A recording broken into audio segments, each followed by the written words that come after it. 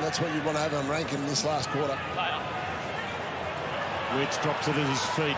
Porter to Bontempelli. Oh, he was saddled up and tackled by Miller, holding the ball. Tackle of the week. He's like a rodeo rider, and he threw him. He still lasted the second.